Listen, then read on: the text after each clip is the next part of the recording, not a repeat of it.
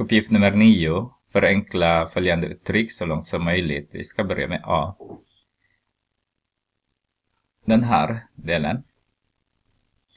Vet ni att uh, vi har ju A plus B upphöjt till 2. Kommer ni ihåg det kanske? Det är kvadreringsregel så att A upphöjt till 2 är därmed 2AB är därmed B upphöjt till 2. Det är den som vi ska använda den här gången. Så det här är vårt A, det här är vårt B. Okej? Okay? Vi har Vi har roten ur x i kvadrat. Så det är vårt A upphöjt till 2 är därmed 2 multiplicerat med A som är roten ur x. B som är roten ur 3 är därmed B upphöjt till 2. Den här är roten ur 3 i kvadrat. Och sen vi har minus där. Så minus x minus dividerat med 2. De tar ut varandra. Så har vi x är därmed. Eh, vi, kan, vi kan samla dessa. Så har vi 2 roten ur 3x.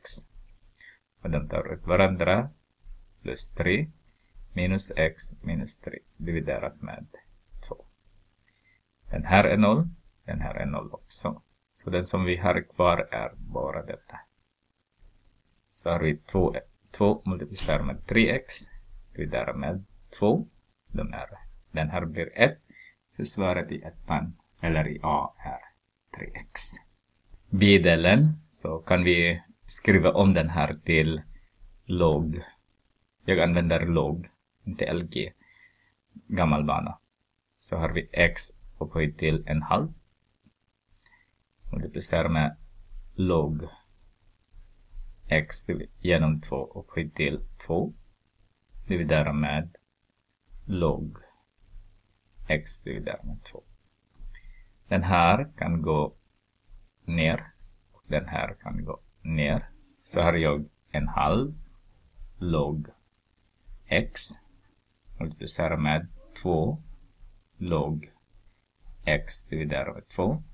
Jag tror den som jag har använt nu är log x upphöjt till p är lika med p log x.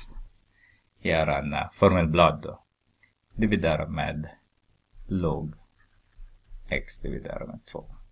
Så den här blir 1 och den här blir 1 så har vi bara log x. Här är det log x.